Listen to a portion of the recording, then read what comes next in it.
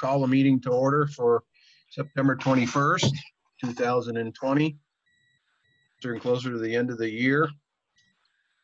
Uh, Everybody's seen the agenda. Pretty simple tonight. I'm not gonna say it'll be over quick because that's usually when it lasts forever. So if somebody wants to make a motion to approve the agenda as it stands, unless there's some changes. Can you I add something to the agenda? Yep. A, s- So, a small conversation on emergency preparedness. okay, Try to keep it real short.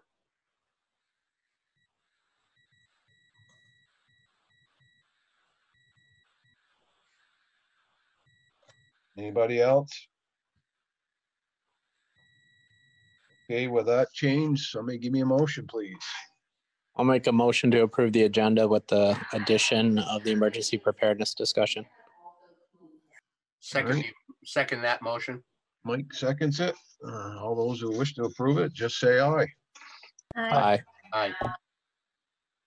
Consent agenda items, uh, simply the minutes from the last meeting, September eighth. Somebody wants to approve that? Go ahead, I make a motion to approve the minutes of the September 8th select board meeting. second it, somebody? Second. Those in favor say aye. Aye. Aye. Public, I see we have a couple of people here tonight, uh, from the public. Somebody wish to speak at this time? Go. Yeah, thank, thank you. Um, We were asked to join you this evening. We're representing the Friends of Waterbury Reservoir, and I think we're the uh, second item on your agenda. It's Eric and Francine Chittenden. Currently, I'm the treasurer of the organization, and Eric, as of a week ago, was pro- made president. So, okay, Okay, thank you. I'll unmute myself.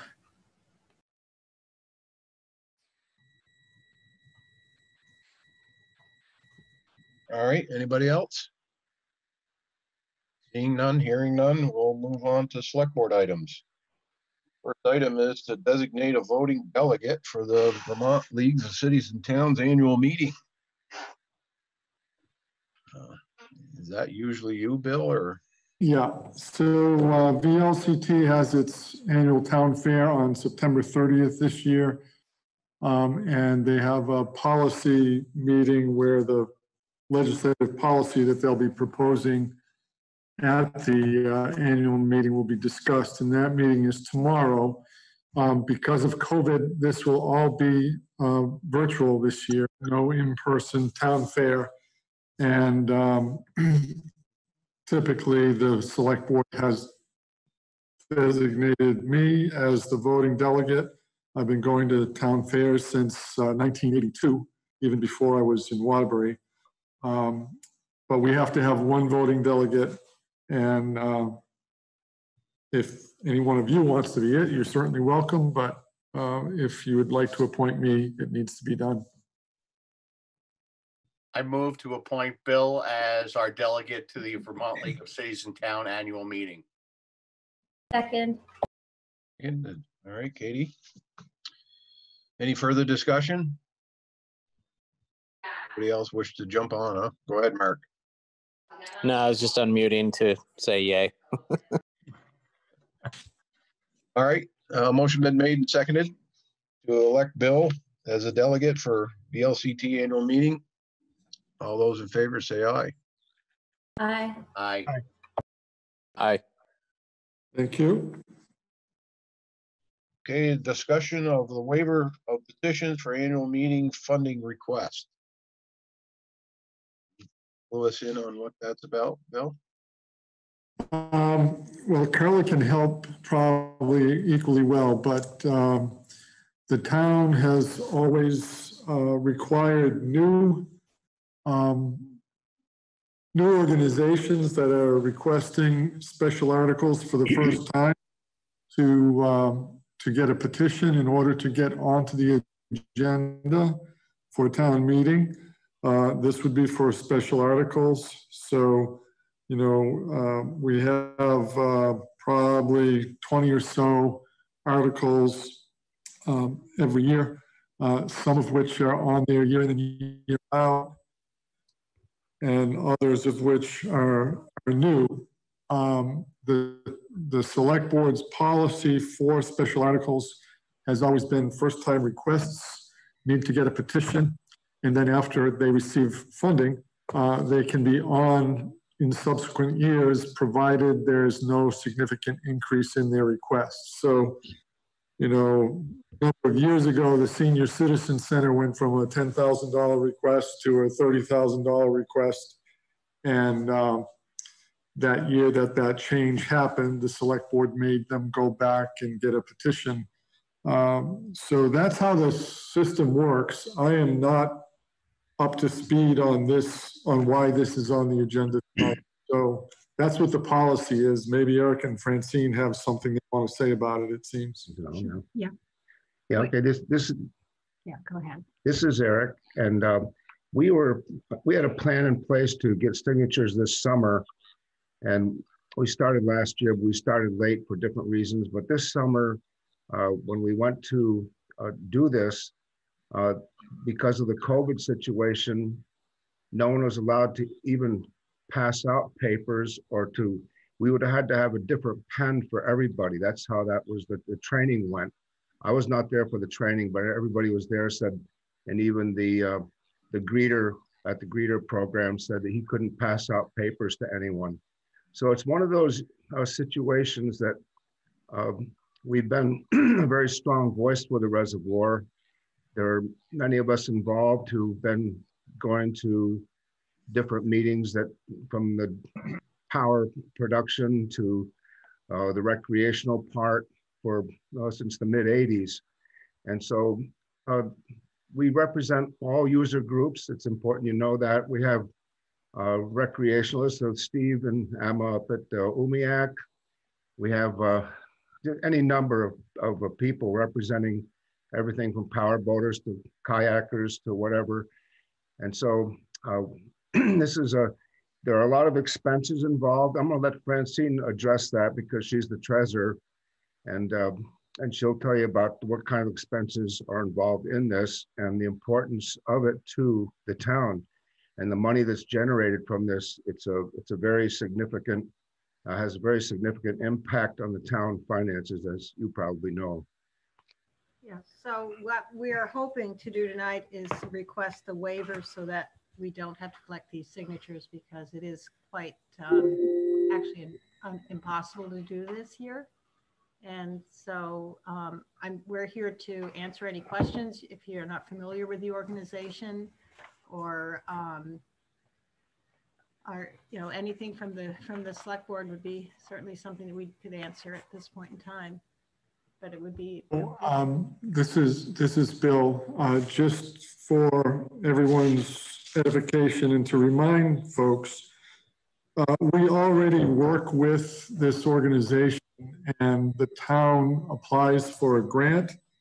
Um, We've applied this year, I believe it's, uh, it's for about thirty-two hundred dollars. Right.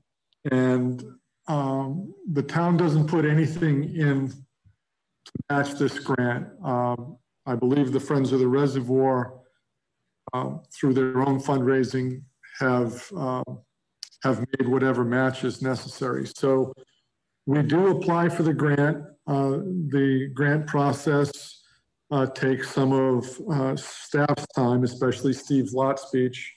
Uh, He has, we've got to get the grant application in on time, and then there are um, what ends up happening is that uh, we have to make two requests to the state for the money. Uh, I think we've already received half of it or so this year. And uh, let's see, grant reservoir, yeah, we, we've received $1,206 so far, and that gets passed through to the uh, Friends, and they use it to pay uh, the greeters, I believe. And I don't remember how many greeters that you have um, and where they're stationed. I, I know it's different every year. Uh, so the town does play some role in this right now. Uh, perhaps Eric and Francine, I see Chuck Lateka is on the, on the meeting as well. Chuck has been very active in the Friends of the Reservoir, and he's been Steve's contact for the, uh, for the grant program for a number of years. Beyond the grant for 2021, um, what do you think your request for an appropriation from the town is going to be? Well, the, uh, it is a pass-through grant and the money that we receive, we do uh, receive from the state of Vermont goes through Waterbury. Um, We were hoping, so this past year, last year, we had enough money in the, in the program through the grant to have two greeters. They're part-time people. The greeter's responsibility is more, has a lot to do with invasive species and educating the public as they come in and out of the reservoir with their mostly boats and any kind of watercraft. This, uh, they're generally positioned at the Blush Hill access and also over at the dam access. We don't really do much with the um, uh, canoe access that's up off of um, at the other end of the reservoir. And the state parks, we don't do much there because they have a fair number of staff there. So primarily, the grant is about controlling invasive species in the lake. Uh, We were not, we had put in for a larger grant request last year and, and it got cut down. So this past summer, we had one um, grant, one of our greeters in position they basically, this individual was there on either Saturday or Sunday. Basically, it's an eight hour a week position. Some weekends he would be there. If it was raining on Saturday, he would work on Sunday. Or if it was fairly, or split his days, four hours one day, four hours the next day. So it's a very controlled amount of time. Um, What we had hoped to do, as you, many of you are aware, when you do any kind of staffing of people, there's a, there's a lot of costs. And so luckily, the grant has helped pay a fair amount of it. We've also been able to get some donations in and a lot of in-kind donations from people who go out and work around the reservoir. Um, I, our hope this year was to request a thousand dollars towards, um, at the town meeting. And we were in the process of putting a petition together, quite honestly, when we decide, realized we couldn't go forward with it. So that's what we're looking for. Francine, from a petition standpoint there, how many, many uh, signatures do you need for that? I, you know, originally, I believe they, 250. 250 and they're, uh, they have to be Vermont, uh, Waterbury voters. So it's an, it's a, yeah. So that's what we understood. It made it difficult to even go door to door, this whole COVID did. It, Yeah. it pretty much uh, eclipses anybody uh, getting uh, 250 signatures with, without unreasonable effort, you know. we- Yeah. We, we were all active and excited about doing, doing that this year because we'd been talking about it, but uh, it just, it just wasn't in the cards. I should mention too that uh, had some numbers that come up in the see. estimate that the state gives, the Forest and Parks, I believe is this is where this comes from, but the, the reservoir generates about $8 million in estimated expenditures in the area from stores to restaurants to bars and so on. Uh, There are any number of uh, benefits to some of this stuff. In fact, it's become extremely popular. And some of the things that uh, the greeter has done besides just talk about invasives, uh, people have a thousand questions when they come and, you know, he, they, they ask about life preservers and fishing licenses and just about anything you can imagine. And, and so he schools just about everybody who goes through there with the, uh, the courtesies of being on the reservoir, the 200 foot rule, five, five miles uh, per hour within 200 feet of the shore and that kind of thing. So the greeter does more than just do the invasive species. He, he becomes a, a voice, a very strong voice for those of us who can't be there. And I think we have only one, one this year, right, Francis? That's We couldn't afford a second one, but we have five different accesses to the reservoir, public accesses. And, uh, and it'd be nice if we had another greeter at, well, a greeter at each the foot of Blush Hill and the dam. Those are the two most active places where uh, it gets plugged up. Uh, it gets, there are a lot of questions and, and so on. Go ahead, Bill. You had something to say? Yeah, um, I think this is a worthwhile, um, program and we have had the greeter program in this grant for a number of years now. As, uh, Francine said, um, the grant was, or maybe it was Eric, but the grant was whittled down a little bit by the state. Usually, um, the state is willing to provide grants and over time, they always hope that the grant, the grantee, the people that get the grant end up finding a different funding source. So far, they have not told us that they won't fund this.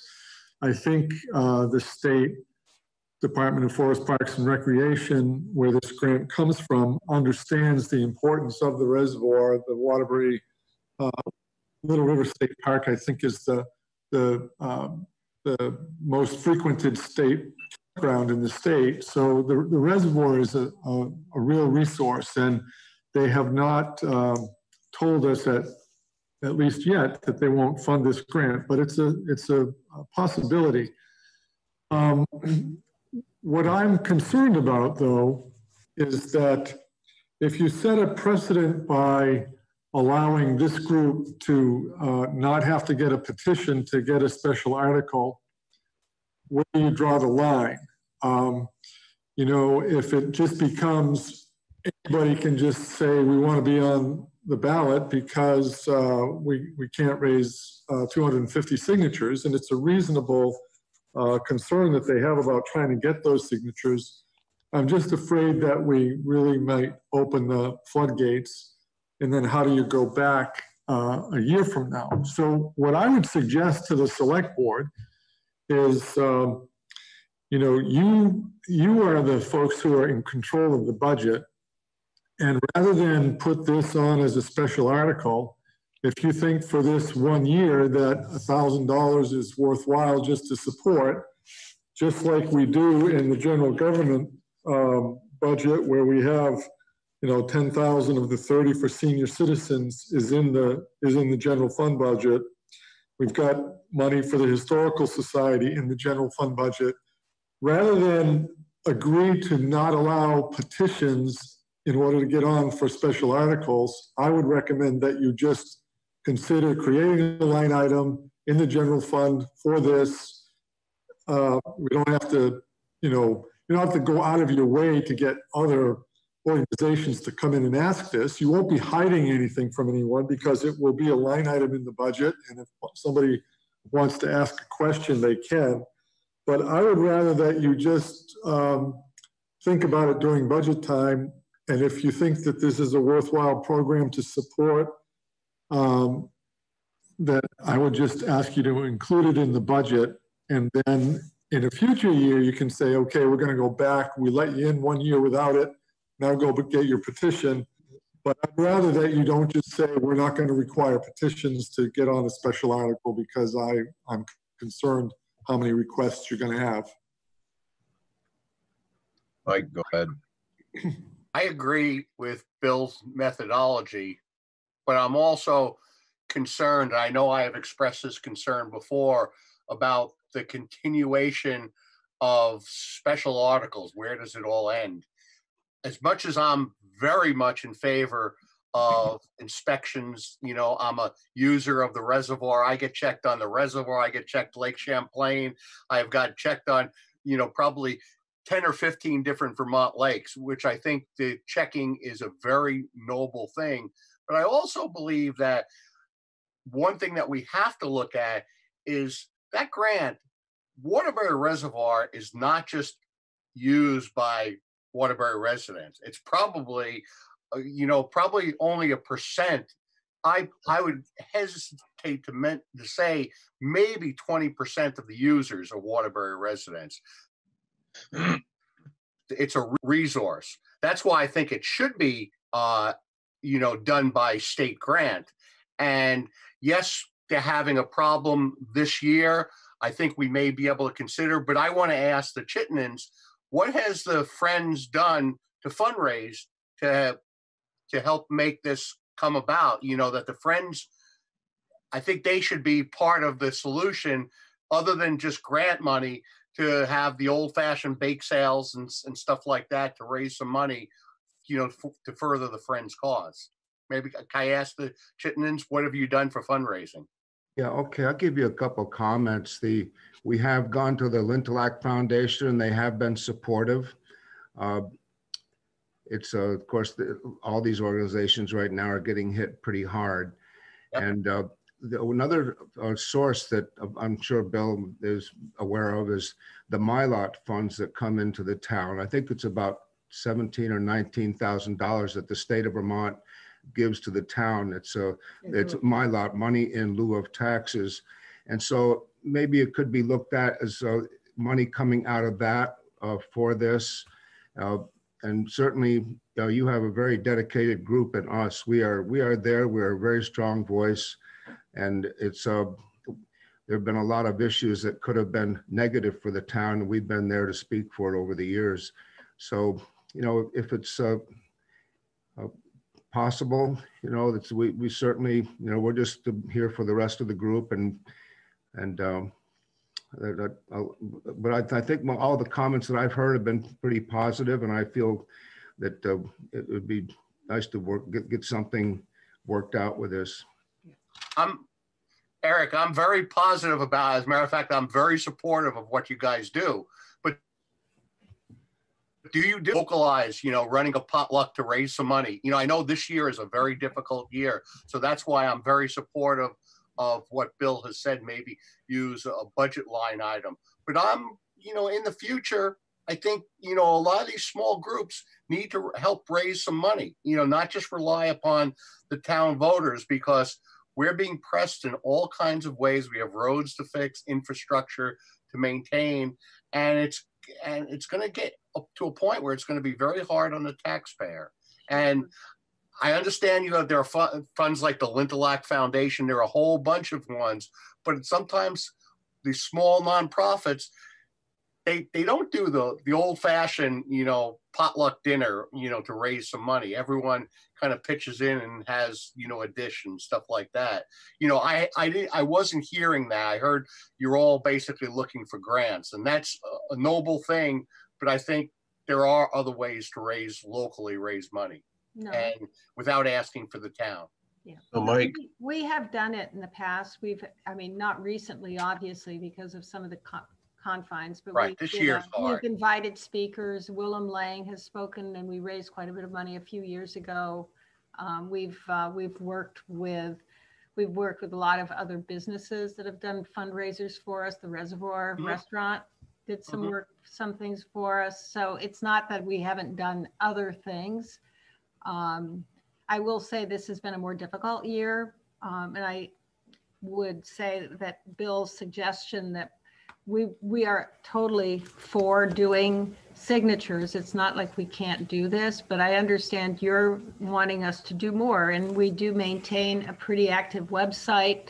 We have a strong, um, a strong um, internet, what, I don't know what you want, want to call it, but food, uh, Facebook and others, other opportunities to communicate with people.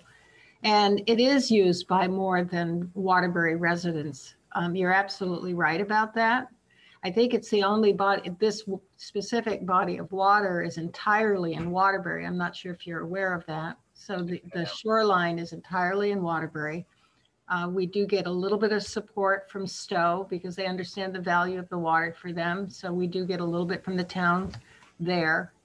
And so we've done lots of different things over the years. We've been the, we've been around for, I want to say the, the organization was formed in the 90s and maybe early 90s, and we've been around for a really long time. We've gone through phases of being fairly dormant where there wasn't a lot of controversy or things that really needed to, when, when the dam was drained, there wasn't a whole lot to do. so there were times when we weren't that active. And so now there have been a lot of changes over the last few years in its use, and we're being asked to do more and more and take more of a leadership role to bring the voice of the people of Waterbury specifically to the- Vermont Forest and Parks or to some of the other agencies that we work in. They do turn to us and it's, it would just, for us, would be a huge assistance. quite honestly. So I got a couple of comments here. Um, I hope you can appreciate this. You know, the select board is, was elected to oversee the voters' tax dollars. Um, number one, I'm surprised that the state, you know, as critical as, as you explained to us that this body of water is from a financial standpoint, uh, a tourism standpoint, I'm surprised the state doesn't do more um, in the way of putting forward funds to protect against invasives and and pay for these breeders, uh, among other things. Um, number two, you mentioned something about an eight million dollar um, income from the from the visitors of the lake. Unfortunately, unless Bill can explain to me otherwise, uh, most of that money comes through the, comes probably into some of the local businesses, but, uh, you know, I don't think the taxpayers see a huge benefit from that influx of visitor revenue source. Um, maybe I'm wrong, but, uh, to Mike's point about generating revenue or fundraising efforts, what popped right into my head immediately was whether or not you could do something like as simple as a raffle. If you could coordinate with the state of Vermont, get one of their uh, campsites for a weekend or a week, three, four days, whatever seems to work the best, and raffle that thing off um, to people, you might generate an astounding amount of money um, to help towards this process. But uh, to take and ask the voters for, and I know it's only a thousand dollars, but if you add up all the special articles, there's many thousands of dollars there. And to Mike's point, you know, when when does this when does this come to an end? And I couldn't support your efforts more. I'm just wondering if there's other ways besides continually going back to the taxpayers um, on this effort. We're about uh, seventy thousand dollars worth of special articles now. It's, it's about a penny on the tax rate. Uh, Many of the organizations, as we talk about all the time, um, are not located in Waterbury. They don't provide any real direct service to Waterbury. Waterbury residents might be their customers, but it, you know, the whole special article thing is, uh, is a challenge. Uh, To your question, Chris, you're, you're right. There's no uh, direct benefit to the town coffers from anything that happens at the Waterbury Reservoir. I would caution, however, that there are many things that we do to try to support businesses that indirectly help the town of Waterbury and its, its taxpayers. I mean, we spend um, $56,000 a year on an economic development director trying to provide services to businesses so that they can be successful, that they'll invest in this community, that they'll employ people in this community.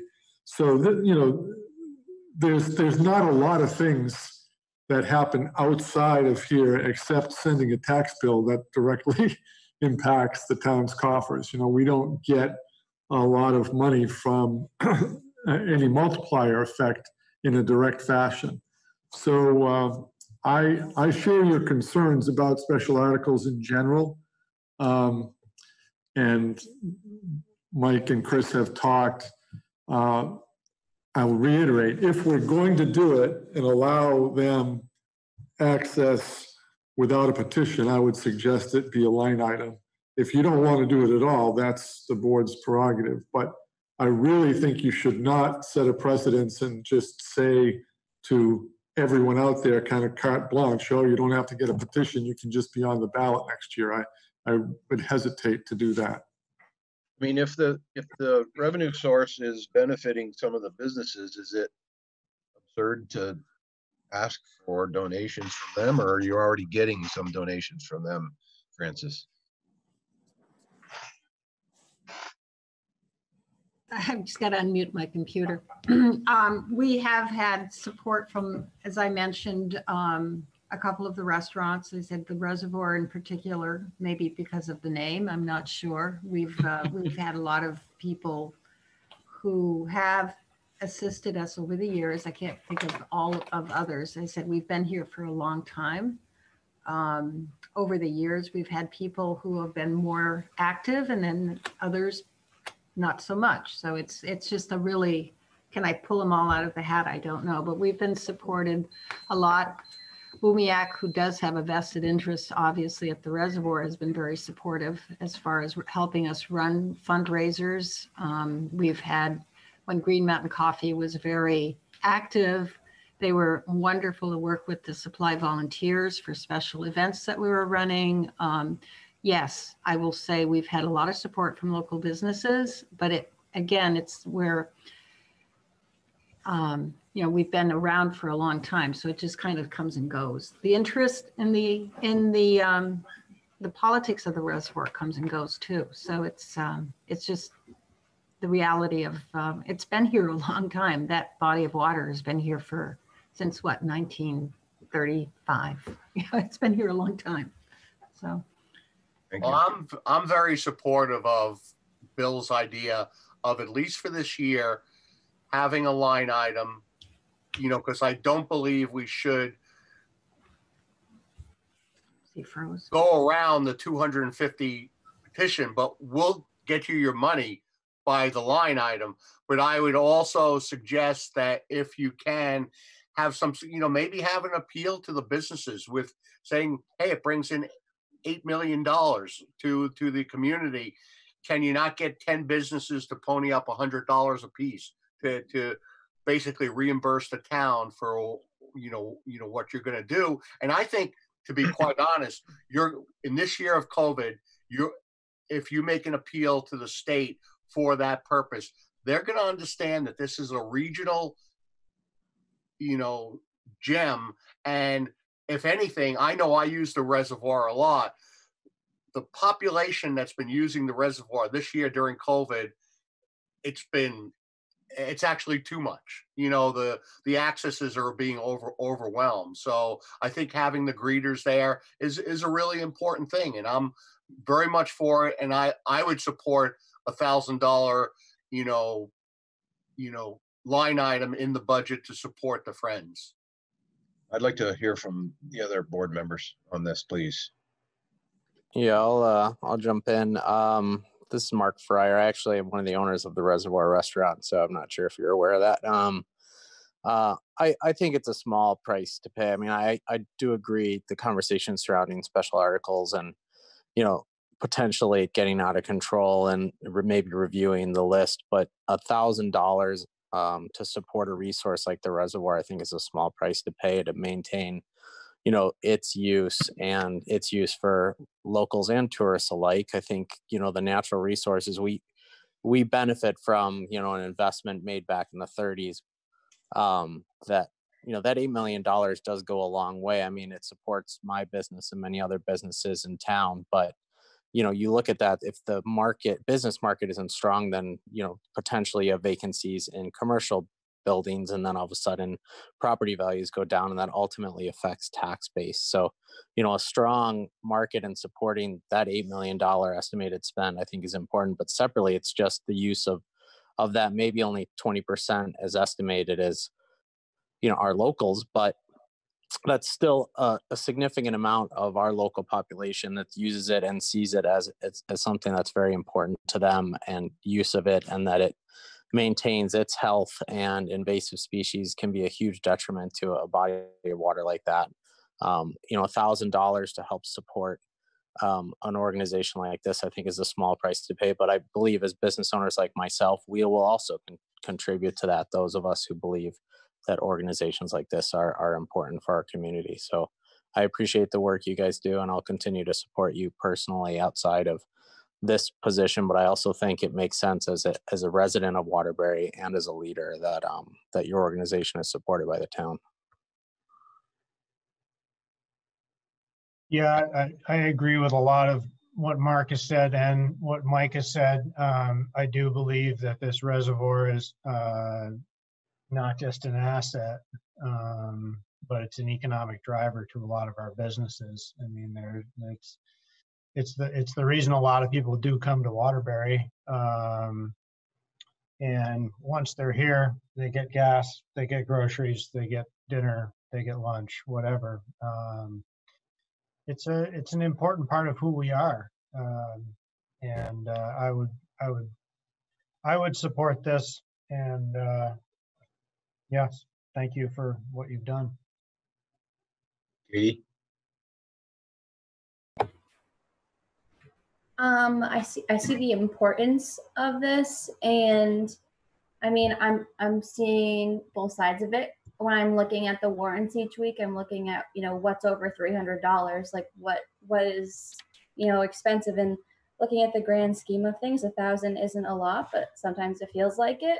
Um, for the future, I would like to see what other fundraising things that you're doing and seeing if we could come up as a town or working with the state something for like additional revenue that you can gain from people going to the reservoir who use it during the summer. Um, and so that becomes a regular thing. So you wouldn't need to depend on town, um, you know, money for in case things happen like this again. Like you need something for the future.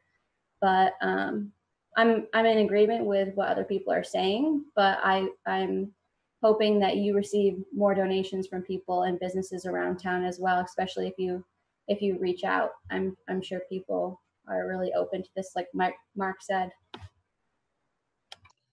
Okay, so Eric, you want to say something? Look like you were looking to say something. Let me unmute you. There you go. Yeah, well, just a couple of things. It, it, I even overlook this myself sometimes, but there's some of the things that we're required to do. We can't piggyback on anybody for insurance or assistance with a website or anything like that. These are some pretty big numbers that we have to deal with. The insurance thing is, is a lot. The um, website, I don't know, Francine, you can think of some of the other things, but Well, they're, I mean, we've been, we're, we're a very frugal organization. Our budget is very small and I just took over the treasury position from Chuck, who joined us earlier. So I'm still working on understanding what's been, you know, where, where the money is going and how it works and things. So really for us, um, we're very careful, quite honestly. We're not, uh, we're not out there and we, we stay within our budget. We, if, uh, as, again, we were hoping to have two greeters this year. And we do more than just the greeter program. Uh, we have a lot of, we do a lot of work with the the birders in the organ, in the area with, um, we've worked with, um, the Loon Project. We have, one of our board members is a very strong naturalist and does a lot of photography and it has, there's a lot of interest in that as well. So, there are other things that we do. The greeter program is the most visible because we have an employee doing that. But we're also very much the voice for, you know, when people have conversations around what's going on at the reservoir, we hear about it. And, you know, we're not able to really, we don't have the the uh, strength behind us as far as we can fix things, but we can also direct people to where they need to go if they have some real concerns. And we can talk about it and see if there's anything we can do. Some of the other things we've done, there's this Rosalia project. We've broken down the reservoir into sections and we've gone out and once a year, it's like a, a water, a green up day on the reservoir, but we've pulled everything from tires to this and that. And it's all volunteer stuff. Yeah. And we, we, we get into a number of volunteer. The loon thing was very important. Eric Hanson runs that for the state.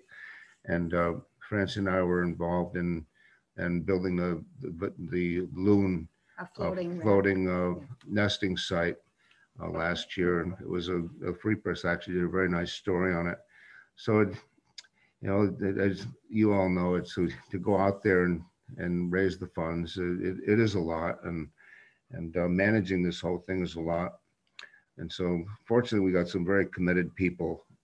And, uh, and so, and the one that Francie was talking about, the naturalist also works with the Green River Reservoir and it's the same thing there. It's a, And then there's the Friends of the Winooski River. There's a, there's a lot of friends and we're all vying for these uh, same funds. So it's a, but we're, we feel strongly about the value of the voice. We, uh, we are a very strong voice and, and uh, we had to make comments and, well, we not, didn't have to make comments, but we made, there was one point, for example, that uh, when they were thinking about uh, re, uh, about opening the reservoir when it was all the way down, that they weren't going to bring it back up. There was going to be, it would have done away totally with the, the beach, any of the beaches, including the state beach. It was all a possibility that they were going to leave the water level very low.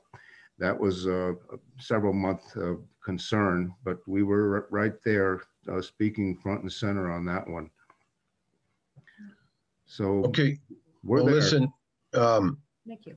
we appreciate your time here tonight and, uh, think you can understand that, uh, what I said earlier about, uh, the elected officials having to, you know, kind of oversee the voters' tax dollars. Um, I mean, you can tell by looking behind me there that I'm as big a sportsman as anybody out there and, uh, I love sports. I appreciate you know, the reservoir. I have a place up north on the lake and uh, a lot of people that are on that lake up there are also participating in similar uh, circumstances like you are um, with loons and, and um, protecting of the shorelines and whatnot. But um, Mark Frier wasn't at our last meeting. I don't know if you heard anything, Mark, about uh, our discussion about uh, appropriating more money for an animal control officer um, could be to the tune of six thousand and up to, depending on a stipend after that, uh, for, for calls itself, you know, could run us close to ten thousand. So uh, I get your point, Mark. I agree with it. I understand it.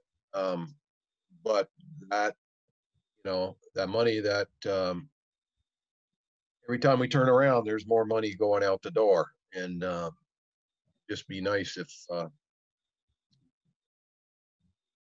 somehow we could get some of it coming back in. But with that, uh, if everybody's done discussing this issue, we can, we need a motion for this, Bill? Uh, Thank you, everyone, for, for listening and And for letting us join your meeting, actually. Yeah, we, we understand the work that you folks put into. I, I've been there, so I understand it. Eric and Francine, I'll make a hundred dollar donation to your organization. Michael, you're, I, I'll, I'll call you tomorrow. We'll- we'll- Okay. We'll we'll have a meeting at the reservoir. We'll buy you all, all a beer.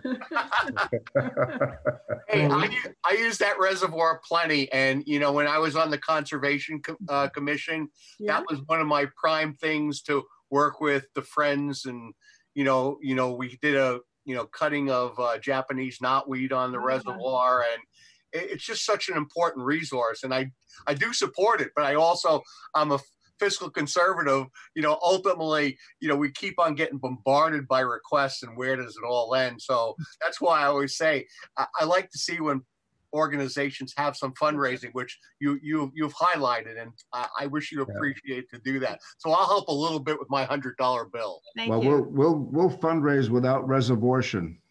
Okay. So Chris, I, I don't think you need a motion tonight. Uh, Carl has marked this in the minutes. I've got a note. And we'll talk about it when we get into, uh, you know, budgets in a couple of months. We're, we're going to put it in the budget, it, it sounds like. And to me, I agree with Bill. I don't think we want to start precedent to omit people doing a $250 petition at least the first time because you want to see that there it is an organization that has support. I have no doubt that the friends do have support, but I said it, it sets a bad precedent. Yeah, yeah we're very fiscally conservative also, so we, we get it. Yes, totally understand, but thank you again for letting us join you and enjoy the rest of your meeting. We took up more than the agenda said, more time than it said we would. That's. We're gonna leave typ- now. That's typical, no worries. Okay, Thank you. Thank you both. nice to see Thank how you. you Thanks, all Bill. work. Thank you. Thank you. Okay, I guess we can jump to your item there, Mike, now. Uh, Seems how you think it's gonna be fairly quick, your emergency preparedness. Yeah, I just want to, you know, I've sp- spoken with Bill and I've spoken with Bob Farr, and you know, I've shown an interest of, you know, Bob Farr, Barbara Farr is probably gonna is gonna be stepping down in the spring as uh, our emergency management director. I have interest in, you know, fulfilling that that role. Uh, sometimes I, I guess I didn't realize how involved because I took the it was a full day emergency management director class, and I found out a, a, a lot about that. I think the key thing that I want to bring up is we probably need to have the select board more involved with emergency preparedness. And one thing that I kind of would recommend, they're on the 29th and 30th, they're going to be having an, an Vermont Emergency Preparedness Conference. I don't know if uh, people would, would be interested in attending that. I think it's really important. You know, again, we don't have the emergencies like, you know, we don't have wildfires, we don't have earthquakes, we don't have, you know, a lot of the tornadoes and other storms. But as we knew from Irene, flooding is probably one of the biggest things. You know, we do have some power outages, and it's it, it would be a good thing, I think, that the select board is engaged on what preparedness. I'm hoping to be able to attend this, you know, conference as everything, all these conferences are done virtually. So it can be, I know everyone can't do that, but you know, I guess the deadline for registration is the 24th, so it's coming up uh, fairly soon. We also do have a lot of good support for emergency preparedness from um, uh, Grace Vincent. Is, Vincent Vinson is our uh, area coordinator. She, she, works out of uh, the Regional uh, Planning Commission. She's really good it's really a shame that the Northeast, let me get the Northeast Regional Coordinator, which was Emily Harris, she's leaving that position. Although she's not leaving Vermont Emergency Management, she's stepping up. She's now going to become the engagement section chief. I'm not quite exactly sure what that is, but it sounds like a career advancement for her. She'll be missed. She was she was the one who actually did the training. But that's where I, I just say I think it's it's always when an emergency happens, we need to be prepared. And I think as a select board, I think you know there needs to be some a little bit more engagement than there may have been in the past. It's just a really smart thing in, involved. And if I become the emergency management director, you know, I may have en- engaged the select board into maybe some trainings with the highway department, fire department, etc. But I'm just curious of what your thoughts are.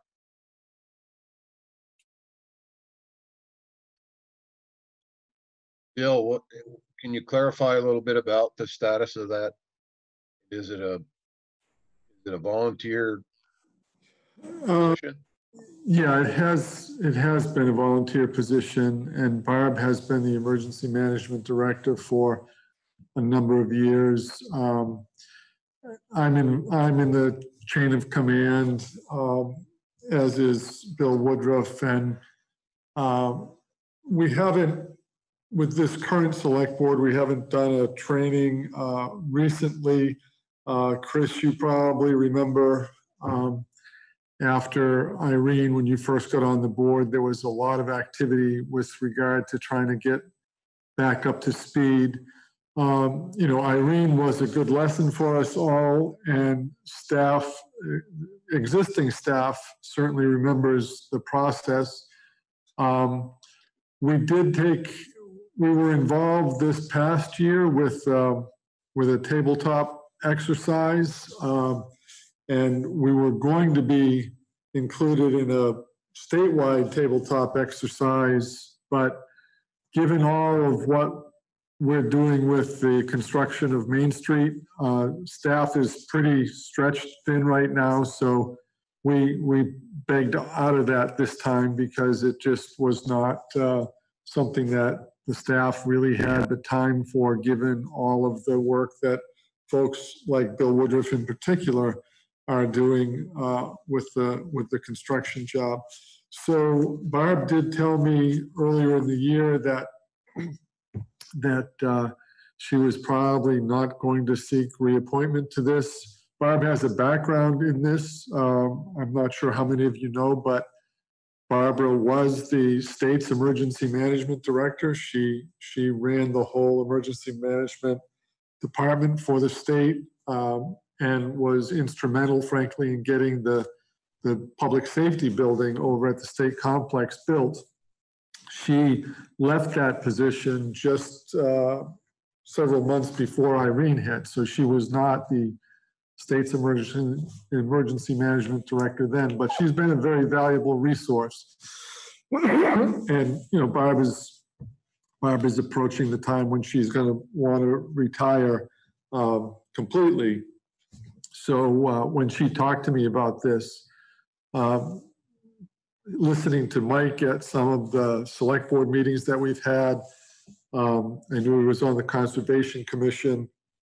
And I know from his former work with uh, USDA that he probably was at least a little bit clued into some of what goes on as far as emergency management is concerned. So I asked Barb to reach out to Mike and he expressed an interest. So I think, you know, probably going forward, we should do something.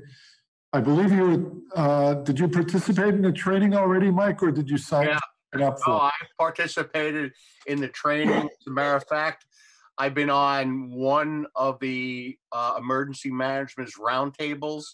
I just want to.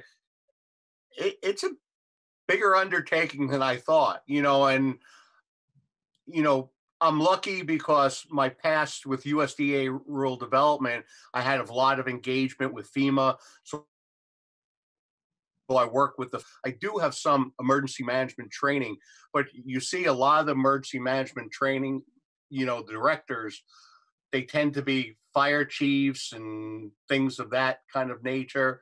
You know, there are some areas that I'm going to need to improve, but they have a whole like a, a learning center where you could take different courses online. Right. And I'm Yeah. up, I'm up for the challenge, you know. And I don't think this is something. I just wanted to bring this up now because, like, we're still in the middle of COVID. I'm just kind of getting this on our radar for maybe sometime next year, you know. Mm. For I think it's it's so important because we never know when another Irene or some other, you know, disaster will hit us, you know, and it will. You know, it may not be next year, may not be 10 years, but it could be within the next 20 or 30 years. And the mm-hmm. more training that, you know, the select board has, and, you know, again, it's also trying to get more people involved so there is kind of a continuity because as as I'm seeing more people who are older who are more tend to be volunteer oriented. I'm glad we see Katie on our select board, you know, kind of a younger person, but you know, I know from I volunteer with a lot of different organizations and there's a real challenge getting younger people involved, you know, especially in leadership roles. So it's just There, there are a number of training opportunities. The whole uh, process of uh, incident command is really preached to a high degree. right. It's very intuitive for some people. Uh, It does not come easily to me. I took the training um, up at the Stowe Public Safety Center. It was interesting. Uh, I think I took the training for Incident Command One. um, I think it was the middle of July 2011, and uh, a month and a half later, we were putting it into practice after Irene. So um, I guess more later, right, Mike? Yeah, and, this is just put it on our radar screen. I think it's something let's let's discuss. You know, if people are available, you know, just email me. I could give you the contact information on where. You know, I know it's it's a commitment of you know time to attend this emergency preparedness conference, but you know, it, it's always good that you know at least the select board.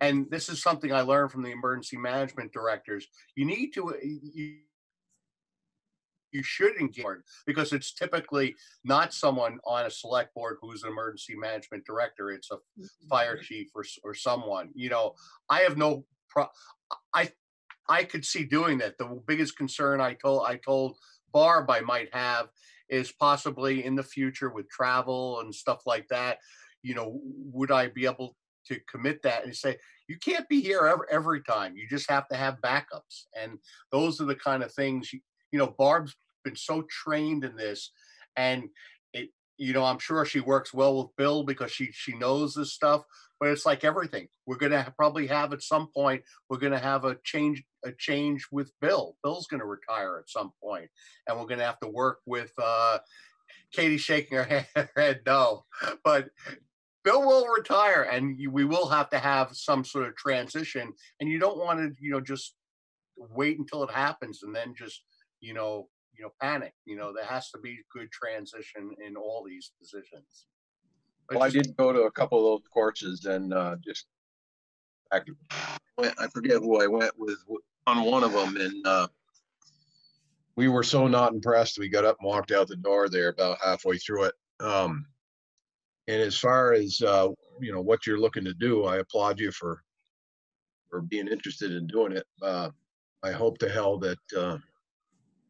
You know, if something, if we have a catastrophe that you're, uh little more valuable than FEMA was there during Irene. Uh, from what I understand, they were as worthless as tits on a chicken. Um, but, uh, so yeah, I mean, we can pick this discussion up next year and, and, uh, more power to you, Mike. Yeah. It, it's just, it's good stuff and, you know, we're, we're really lucky that we have Barb, you know, it's rare that a town has someone with that level of training, you know, in that position. So, you know, I had my fears, but she kind of, we had a long conversation and she kind of talked me off, off the, off the ledge. Okay, we gotta, we gotta kind of jump towards, Yep. uh, Budgets. our budget items here because we're a little overdue. Okay, Bill, your ball game. Okay, um, so I sent out two emails today, one early this morning and then one uh, just before I left to go home for supper. Um, and sent out financial statements. Um, I don't have the ability here with me to, you know, share my screen or anything. I've just got paper copies, so um, except for Cheryl, I think, uh, and ORCA, um, everybody else probably has what I'm talking about. I'll spend as much or as little time on this as, as you like. Um, I'll start with the budget, I guess, which is uh, the three operating funds. Fund 11, 12, and 13, the general fund, the highway fund, and the library fund. Um, And I sent a, uh, a narrative this afternoon, a brief one pager. And um, we're through, this, this budget is through the end of August, um, August 31st. So we're through 67% of the year as far as the calendar is concerned. And um, on the budget side of things, especially on the expense side, we are far below that uh, percentage, which is good. That's where I want to be, especially this year. Um, As we did take lots of steps to reduce spending, we laid off uh, um, a significant portion of our staff, we cut hours, and we've cut back on many of the projects that we had hoped to do. All the uh, hope of, of saving some money. And uh, we ultimately turned around uh, last month, or the month before, actually, I guess it was August, and uh, set the tax rate four cents lower than we had authority for, which, which gave back uh, about $305,000 of unbilled revenue. So uh, the, the taxpayers as a whole uh, are billed $305,000 less uh, than, than they would have been. Um, I looked at the revenues first, and that continues to be the big question mark. Um, As I reported in that uh, narrative this afternoon, there are some things like town clerk's fees and planning fees where we're running ahead of uh, budget even, ahead of even our, our budget that was approved in March. The town clerk has taken in uh, $66,500 as of the end of August, which is 76% of the projected revenue. So uh, if things keep on pace and uh, there was no drop off, and Carla can tell you if there's typically a drop off, I tend to think as we move towards uh, November and December, things slow down a little bit. Um, You know, real estate transactions typically slow down, um, the holidays come. But if we continue at the pace that we're on, the town clerk's fees would be about $100,000. I'm thinking they're going to come in somewhere between uh, 93 and 95, which will still be above budget. Um, We're in a similar situation with the planning fees, a- not quite as far ahead there. Those do generally drop off as we move into the colder weather months. People stop pulling permits. But it looks like we'll probably uh, make our revenue projection there. The, uh, the big question marks still are the PILOT payments and the other payments that come from the state. Um, I think I told you the last time that we talked about budgets that in my communication with the state representatives, uh, Theresa Wood in particular, uh, she indicated that the state, um, the formula for PILOT uh, not only used the 2019 um, insured values for the state, but it, it also uses the revenues that, uh, that came through June 30th of, of this year. And certainly the tail end of the year, they, they declined rather precipitously. Um, So I'm not sure yet what's going to happen. I've been led to believe that we'll probably be closer to what we expected for PILOT this year than not. But I think 2021 will be an issue. Um, So looking at the uh, other expenses that we pay only um, once a year, so things like transfers to the capital funds, um, some insurances, some debt that we pay late in the year. Um, You know, if you look at these uh, different departments, they're a little skewed percentage-wise below really what they should be, because if we were paying uh, our debt like we all pay our mortgages, if we were paying it once a month, we would have paid 67% of our, our debt service already in the year, but we typically don't pay debt until late in the year when we collect our taxes. So those line items are lagging far behind. I uh, factored that, that in, I prorated the debt and even, and uh, the debt and the transfers to the capital funds. So it's looking to me that uh, there's a reasonable possibility in the general funds that we might be about a half a million dollars below what we actually budgeted. Um, At the end of September, when I do the next budget report, what I will do is plug the numbers in. If you remember, shortly after COVID hit, I think it was in April, I kind of did a, a restructuring, if you will, of the budget. And uh, I projected revenues and I projected expenses. I'll try to plug the numbers into that spreadsheet again, so we'll have a, a kind of a side-by-side comparison of what the budget was, what my initial projections were, and what my, what, you know, what the year end is really gonna look like. I think right now, the picture looks better than it did when I made my, you know, more towards the worst-case scenario right after we did this. Um, I suggested in that budget uh, restructuring back in April that perhaps we would not make all of our transfers to the capital funds. Um, And we could justify that because we cut some of the spending in, in our capital funds. But if we can uh, make all those transfers to the capital funds, even though we're not going to spend that, uh, all that money that we had planned on this year, if we're still able to make those transfers and still um, have a budget that's, you know, three to five hundred thousand dollars less than our initial budget was, we should make the transfers if at all possible. That will help the capital funds going forward. But we do have that ability, I think, to hedge our bets.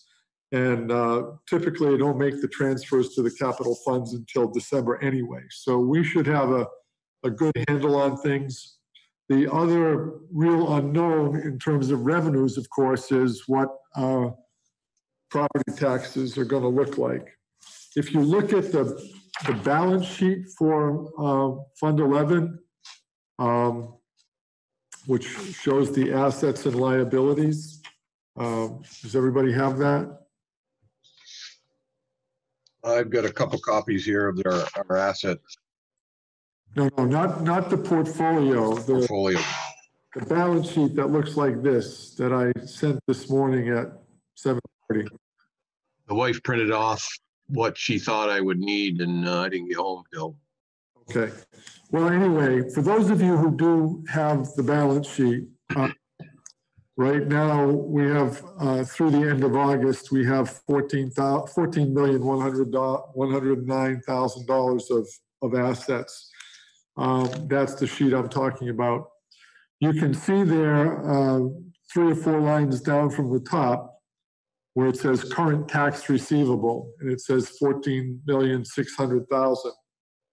Um, and then what I did, I took that number, fourteen million, six hundred thousand, and I added, um, the, well, I, what I actually did was I took the, the liability, which is due to school, down in the liabilities, eleven million, five forty-five.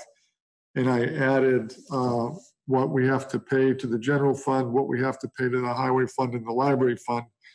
So I came up with a number that we've, uh, we actually billed about fifteen million, four hundred and eighty-five thousand dollars. And you don't have that number anywhere on that sheet. I've, I've just written it in by hand. So when I look at this current tax receivable of fourteen million, six hundred thousand, and I do the math, we have collected by the end of, uh, August, about eight hundred and eighty-two thousand dollars of the three plus million dollars that we need to collect. So, uh, you know, people are paying, and as I told you, um, even though we pushed the due date off until November, uh, there are some people who just don't like to wait until the end and they, they pay early. So we've probably by now, we've probably collected a million dollars worth of, uh, of the money that's going to come to the, to the municipality. But I'm still expecting that we will have a greater than average delinquency rate when we get to the end of the year. So until we really get a good handle on how much taxes people actually paid as opposed to what we billed, and then until we find out what we get from PILOT, current use, and forest and parks payments from the state, um, altogether, that's about uh, almost four hundred thousand dollars from those three sources together. Um, those are the big question marks right now. Um, the tax delinquency and how much we get from the state. If we get everything that we had originally budgeted from the state, that'll go a long way to uh, making up for any uh, delinquency that's above and beyond the normal. We typically have collected about 98% of our taxes. Uh, There's a chart here in the annual report. Um, Delinquent taxes 18. Um, In 2019, we had a 0.64% delinquency rate when we went to uh, publication at, at the, uh, uh, for the town report. So that means we have a, you know, a 99 point, um, 99.35% collection rate typically. Um, in 2015, we had a delinquency rate of about uh, 1.18%. So that's a that's about a 90 a 98.9% uh, uh, collection rate. So we typically do well with collecting our taxes. Uh, but this year is uh, is an odd lying year, and we, we won't know until we really get to the end how it's going to turn out. I'm thinking that it won't be as bad as it was in Irene when we had lots of uh, devastation in the in the village district in particular. But I do expect that there will be some people and businesses who just aren't able to pay their taxes. So uh, we'll see where we're where we are at that point. But things are looking better than I expected back in April and May, which is uh, a good thing. On that balance sheet, the uh, general fund balance sheet for Fund 11, if you look at the liabilities, about halfway down the page, you'll see that we still have about $1.68 million outstanding in um, tax anticipation notes that we owe to the bank and to uh, EFUD.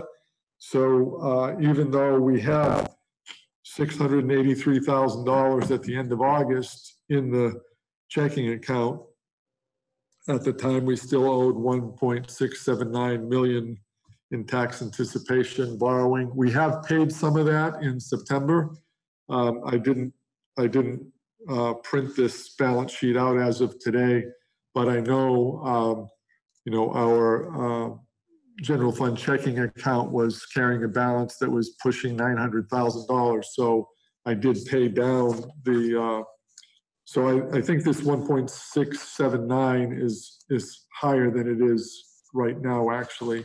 But we still have to pay that, that debt off. Um, I'll pause there for, well, one last thing before I pause for questions. I think I did put this in the memo. Um, our recreation funds, um, we are doing uh, better than anticipated as far as net expenses are concerned.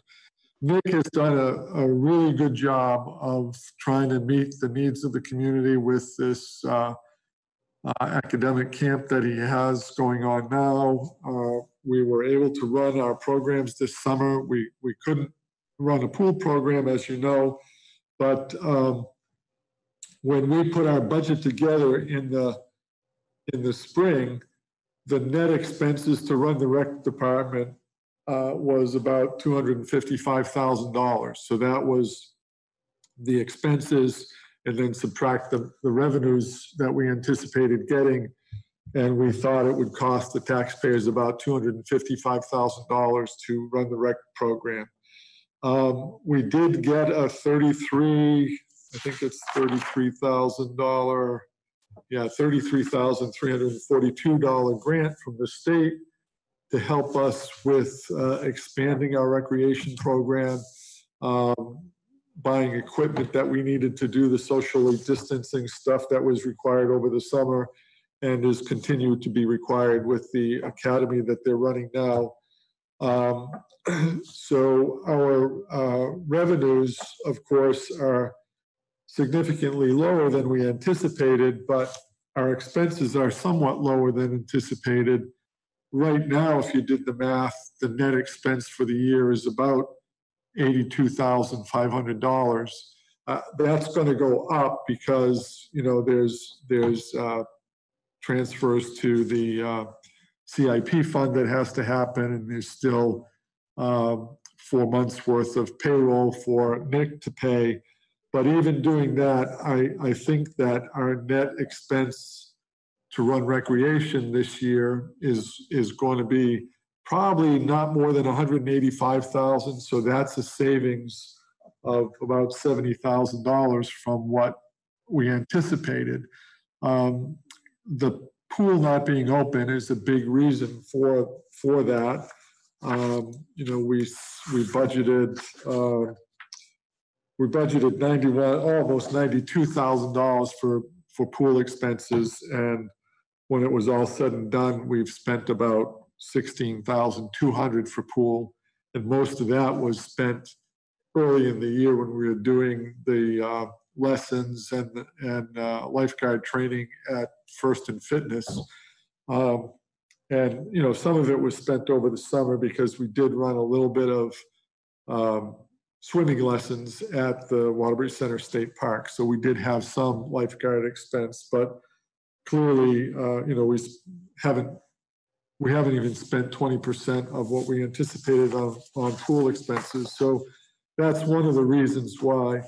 But I guess all in all, what I'm trying to do is to report that the strategy that we put in place back in the spring to cut spending, to really try to pull in the reins, seems to be paying off now. And I think um, we'll weather the storm through this year. Uh, Am I promising that we will not have a deficit at the end of the year? No, I'm not promising that. Um, I'm thinking that the deficit is probably going to be less than I projected back in April. I think we'll probably be able to make most of our transfers, if not all, to the CIP funds. Um, But then we'll have to see what things look like going forward, what kind of information we get from the state with regard to PILOT payments and the like in 2021. Uh, If they're off significantly, you know, we still may have to do some work on, um, you know, reducing a budget for next year. I'm not, I'm not positive of that. Um, Everything that I've said carries over really to the highway fund and the, and the library fund as well. Um, Most of the savings in both of those funds will be because we, um, we reduced staff. We laid, laid off staff in both those departments pretty, pretty heavily, and we have reduced spending in, in many areas uh, as best we can. Um, For the operating side of things, I think you all know that uh, we have completed the paving projects for the year. Maple Street has been paved. Um, Portions of Guptil Road have been shimmed up. Um, The bills have not come in yet for that, so I, I can't tell you exactly how much the paving costs, but we tried to spend uh, that half a million dollars that we had available. Um, And with that, I'll stop and let you ask some questions if you have any.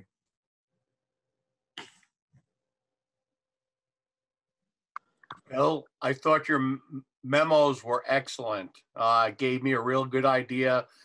I, I was actually very pleased to hear where we are at at this point in time. I was, I was wondering, and I think you answered that, is that your, the tax collection so far this year, people paying in advance due to, you know, we usually have an August, you know, tax payment that some people have come and pay their taxes in advance is is great.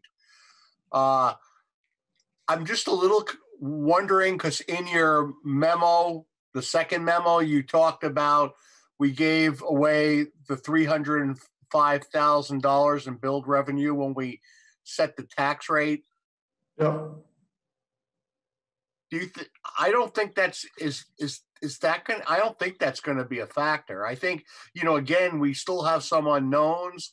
You know, we we have to see what what comes through. I think PILOT is you know a huge one to see what the PILOT number comes out to be.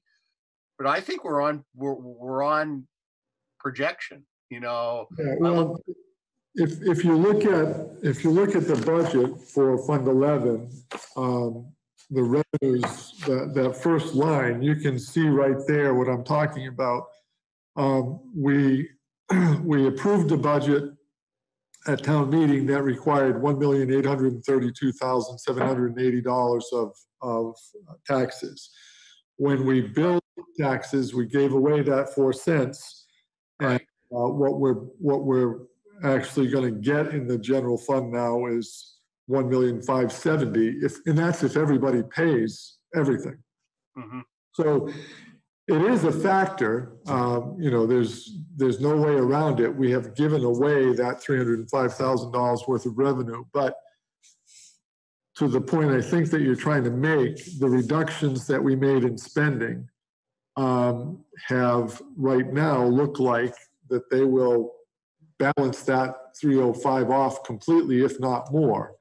Right. The, the unknowns is, you know, if that PILOT payment doesn't come through at $300,000 like we're expecting, that's, that's going to be a little bit problematic. But I think we're in a, as, we're in as good a position as we can be right now with some rather um, major unknowns still out there. How is the library, because you put, it says the library operating fund is in the same situation and projects to, to year and spending about ninety percent of budget.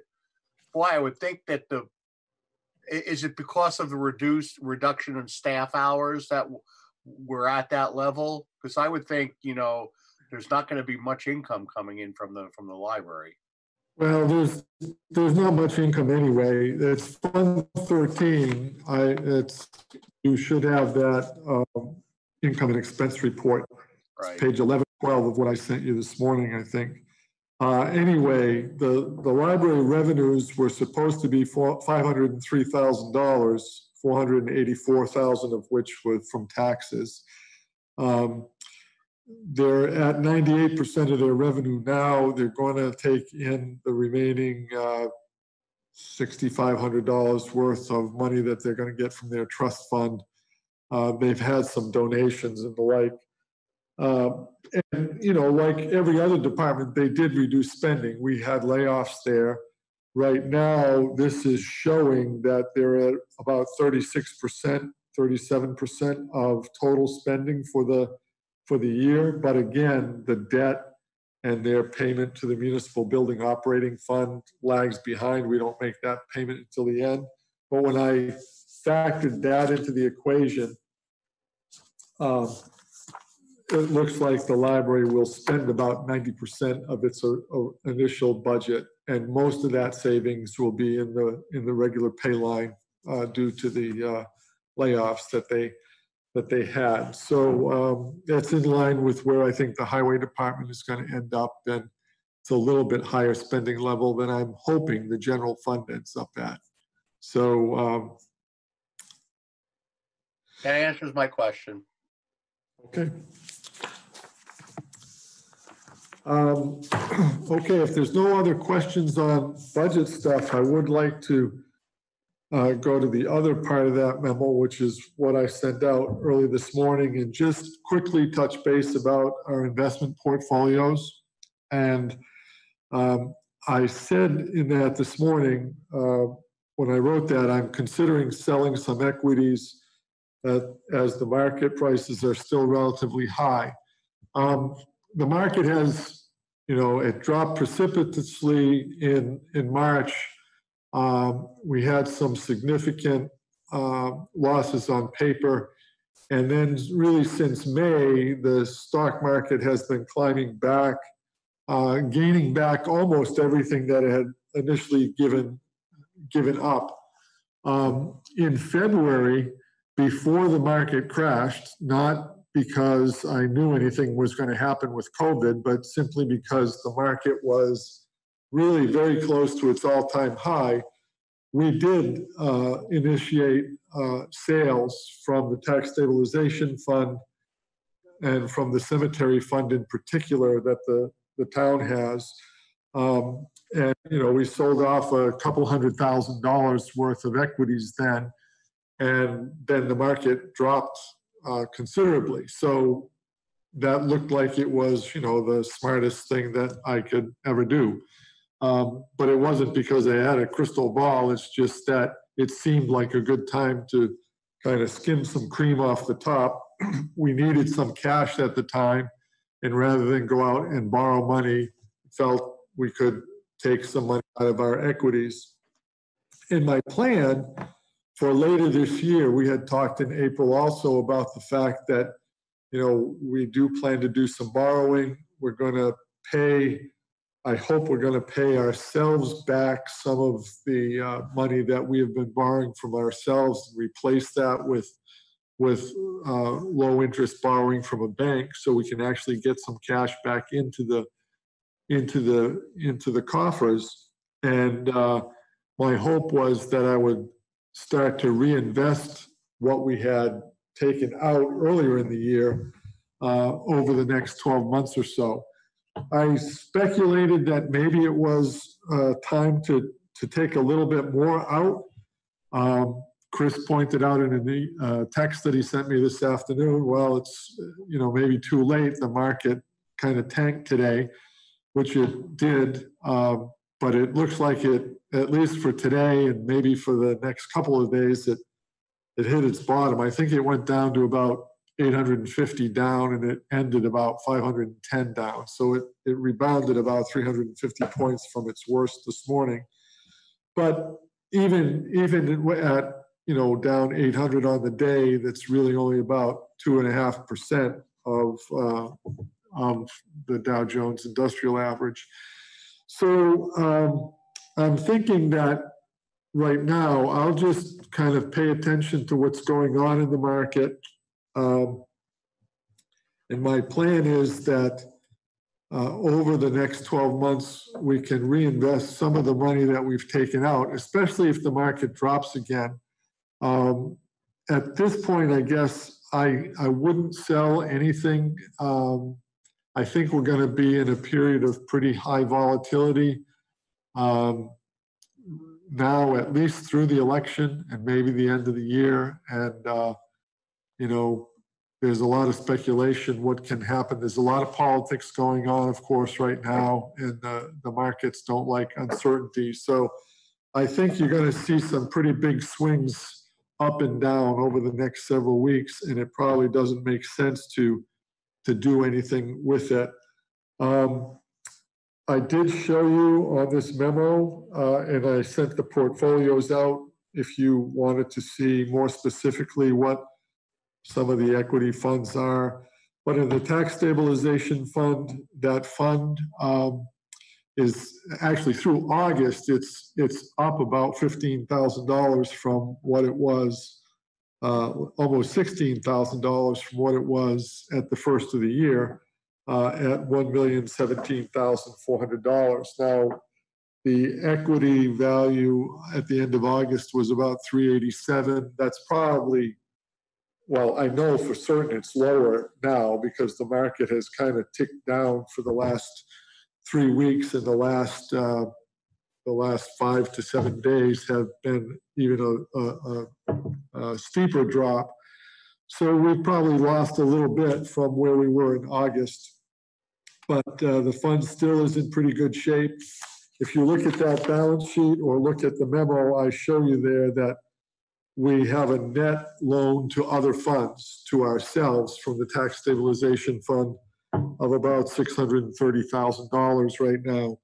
And, and that's what I'm hoping that we will end up paying ourselves back, borrowing rather than from ourselves from an outside source to get some more cash into the into the coffers uh, so that we can you know use it to buy the fire truck that we're going to be getting probably delivery of in October and some of the other things that we need to finance through the uh, through the uh, capital expenditures that we have. So that fund is in, in good shape right now. Um, you know where it will end at the by year's end, who who knows? But uh, it is interesting that even with as large of a drop that we had in that fund back in the spring, uh, that it's actually up. And and frankly, the reason it's it's up, uh, it probably would be up higher if we hadn't taken money out of the equity funds. But you know that kind of parachuted or went down the roller coaster, and now it's gone back up. But uh, I think we're continuing to manage that fund as uh, as we've expected. The cemetery fund is is doing quite well. Uh, also, uh, have uh, over $560,000 in that fund, uh, about uh, you know 430,000 in, in equities and the rest in cash. And then those two smaller funds, the CC Fisher Fund, that's the fund that, uh, that's available to provide, uh, training or equipment to the fire department. And then the Veterans Monument Fund, that's kind of self-explanatory. Uh, we use that to, uh, to maintain and clean and, uh, upgrade the various veterans monuments around the, around the community. So, um, I'll stop again. If you have questions, certainly ask. If you're all set, I'm done. No, the volatility of the stock market, like you said, is uh, due to several reasons, and one of them, quite frankly, is uh, the people that make their money in the stock market are playing cards right now. Um, you know, like Kenny Rogers said, you got to know when to hold them and know when to fold them, and um, and they folded them today, a lot of them. The Well. first guy, the first guy to fold them is the winner. Uh, a little bit. I mean, it's, it's really, you know, I think we, we've all become accustomed when you hear the market, you know, drops a thousand points. We all kind of, wow, a thousand points, but, um, you know, it's a thousand points on a market that was up around 29,000 or, you know, 27,000. It's very different than when it dropped a thousand points, you know, 15 years ago when the, when the market was at 12,000, you know, so it's, a- it's a big number, but the percentages are not all that different. And for the most part, you know, we are not, the town is not an individual or a family. Uh, The expectation is the town is going to be here in, in perpetuity. And I think generally we have been best served by, uh, you know, buying quality securities and just holding them. Uh, When the market drops, uh, prices go down. Most of the funds that we own are, are balanced funds or income funds. They have lots of, uh, you know, 60, 40 equities to bonds. Uh, There's a considerable amount of interest that gets kicked off by the bonds. And there's uh, generally, most of the equity funds that we own um, are pretty um, significant dividends. And when those dividends and interest get spun off, we just reinvest it. So if the market goes down 10% and then the, the interest and dividends hit, we buy good securities at a 10% discount from what they are now. And eventually when they go up, we end up with more money. So buying and holding for us, um, you know, none of us are counting on any of this money to uh, support us in retirement and everything else. And when you've got retirement money, when you've got money that your family depends on, you know, I think your stomach's probably churn. I know mine does a little bit more when I'm thinking of my own money, but this money that, that is the town's money, uh, generally, we're best served by just riding it out. You know, we have to pay attention, of course, and we're expected to, uh, you're expected to be good um, stewards and you have a fiduciary responsibility. Uh, You know, the, uh, the principle that, you know, you're gonna do what's right, uh, kind of by what the common ordinary man would do. Uh, That's, that's an expectation, but for the most part, um, holding these funds has, um, has not hurt the town. No, I, I, what I'm saying, I guess, in a nutshell, is that, uh, the key is, and, and you already exercised that this spring, is to, uh, use those funds as, uh, backup when, when, uh, the economy falls short, when our revenue source falls short. Uh, typically what happens is when that occurs, in most cases, everybody's falls short. The key is to pull some of that off before that happens and have it in reserve so that when things do fall short, you've got the backup there to Yeah, plain and simple. Um, Yeah. Uh, it's, it's trying to guess, rolling the dice, guessing what the market's gonna do when it's gonna do it is, uh, game. yeah. Well, you know, when, the, the reason that that Carla and I decided to, to sell off some of the securities this spring in February. You know, we had basically a bull market for the last decade. I mean, there's, there's been some ups and downs, of course, but really since the uh, financial crisis of the late 2008, 2009, the market has pretty much been going up the whole time. And it was at near record levels. So the expectation is, well, how much higher can it go? And, you know, I'm not one that's going to try to say, well, I'm going to hang on to it for another three weeks because it might go, you know, two or three percent higher. The likelihood that it's going to go down 15% at that point is much higher than it's going to go up 15% when it, and going up, up, up. So, so that's why we decided to sell when the, when it was at, at what turned out to be its, uh, you know, top of the market. And uh, we, we were lucky that it worked out that way. If we had delayed for another two months, well, we would have been saying, well, it's not time to sell now. But we, we, it broke right for us this time. Well, if we try to pay attention, you know, try not to over speculate, you know, listen to all your comments.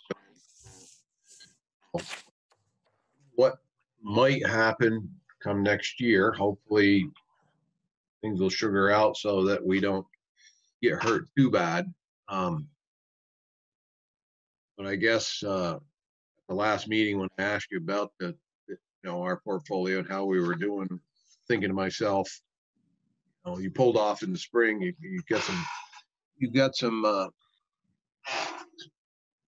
cushion there in the spring for us, and whether or not we should, by watching the market, if we should take advantage of any more of that in anticipation of, you know, speculating that maybe things won't be so, so, quite so good next year, but that's, that's anybody's guess. yeah, exactly. I think, I'm- we're I think we're in a pretty good position right now. Uh, Unless anybody else got anything else to put in there on this, um, probably call it a night, huh? Motion to adjourn. Eric, you still with us? Hey. I'll second. Yes, Yep. Looks like we're headed out. All right, appreciate everything you did, Bill, Carla. Um, thank you, board, for being here tonight and, uh, see you at the next meeting. When, uh, what, Uh, next, next meeting, I'm, um, I'm gonna try to have, um, Lieutenant White from the state police at the next meeting. Uh, Chris and I have talked a little bit about, about this. I've had some conversations with some other people in the community about it.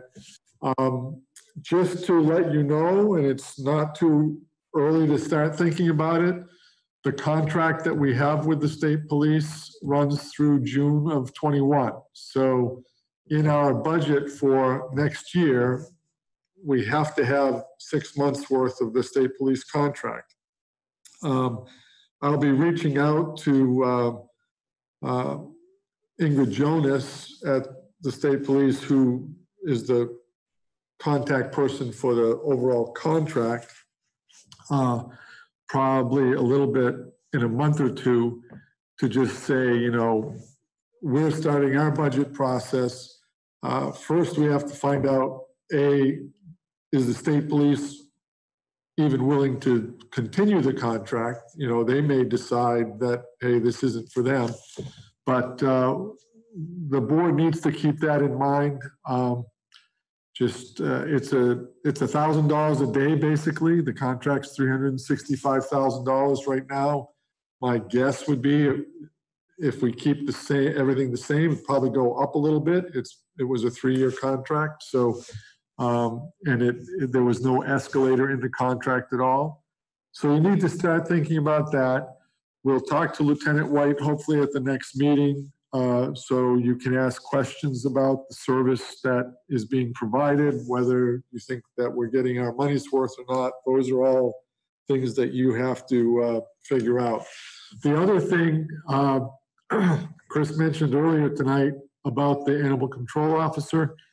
I have not heard from anyone about that. Peter Trammell said to me today, he called me on a different issue, but he said that, you know, if the board wanted to talk to him about it, he would, he would consider doing it again. Um, and I think, uh, Peter had a lot of good, um, brought a lot of good to the position, but I think that, um, there's also a tendency on Peter's part to sometimes uh, really burn through um, staff. Uh, You know, it's, it's a high maintenance thing, so I, I'm not opposed to having him do it again, but I think that if the board wants to talk to him, um, we've got to get an understanding. Chris, you know Peter very well, and, uh, you know, um, he says what's on his mind, and sometimes it's not the most uh, effective way to to make friends with people that you're working with, and and that's an issue that we'll have to iron out if we're going to go down that road. Yeah, you gotta know how to take him and, uh, yeah, he stopped a couple days ago there to see me and, uh, talk briefly about the PCO position. Yeah. So if you want, I can try to make arrange, I don't know if he knows how to do Zoom, but uh, we'll, I think we're not going to talk about this tonight, but, um, you know, the, um, as far as the opening the office is concerned, uh, we as staff believe that we're providing the service that the community needs right now. We definitely do not want to open the office uh, just to anyone uh, before the election happens. Uh, There's just, it's just, there's too much involved in that. Uh, The election, we're all going to get ballots mailed to us by the uh, Secretary of State's office, and then you'll either mail them back here or bring them and drop in a, in in a Dropbox. We will not be having any uh, voting here at the office before the election. It's just, you know, we talked about it the other day, and uh, with the current protocols, you know, we'd have to have a line with uh, markings on the sidewalk all the way out, keeping people six feet apart. Could only have one person in at the, at the office at any given time. So getting people into this building is not an easy pro- uh, process right now. Um, Carla, there will be in-person voting at the school on election day, however, right? Yes, that's correct. We're doing it at school. Okay, so, We're, we're allowed, our offices are closed, do not have to open for in-person voting. If our offices are open to the public, we do. so we're closed right now except by appointment only. And uh, as far as the office day-to-day work is concerned, uh, we need to stay closed through, through the election anyway. And then we can revisit that because it's just, when Carla was talking to me about the protocols and what's necessary um, to deal with people coming into this building to, to vote, um, it's, it's just not, it's not doable. We, we cannot provide the social distancing that's, that's required. So um, I think, you know, Carla had good experience during the primary. We managed to get through that without having people come into this office building. That was all by mail, I believe. Um, Not, it wasn't even an, well, I guess there was an in-person vote here, but It was, yeah, that one was, you had to request a ballot versus being automatically mailed a ballot. right. In-person voting was here. Okay, so do you want to talk to Peter at the next meeting? Did you, Bill, did you advertise after the last discussion again? Yeah, we, I did. I put it on Front Porch Forum and, you know, it's, uh, Lisa Scagliotti put it in the, uh, Waterbury Roundabout. It's, it's out there. Send it nobody- to, nobody's jumped on it, huh? no, Yeah, I I do want to talk with him and express my concerns over, you know, the feedback I received years ago from, you know, some of his interactions. Um, so I just want him to to be aware of that and that those are some of my concerns is that you know he represents the town in the in that role and i know that quite a few people had some interactions with him they didn't feel were professional or appropriate so i you know i think i just Yeah, want to talk that through with him a little bit more but Yeah, that's, that's reasonable. And just to be clear, uh, the animal control officer is an appointment by the select board. It is not an appointment that I make. Um, This is one of the few positions that the select board uh, themselves will, will get to make. So it's perfectly appropriate, Mark, to have those kind of conversations. And, uh, you know, I think we definitely need an animal control officer. Uh, There's been a couple of incidents in the last couple of months, uh, one just a couple of weeks ago that, you know, really kind of begs for some intervention, but uh, you got to have the right person to do it. Um, And I think he's able to do it. It's just sometimes the bedside manner is uh, the important thing that, that needs to be communicated. Just an FYI before we leave, um, next meeting, I, m- there's a strong possibility I may not be in attendance. It's my wife's birthday. Come along. Okay, motion's been made to adjourn and seconded, uh, unless there's anything else of you guys next meeting.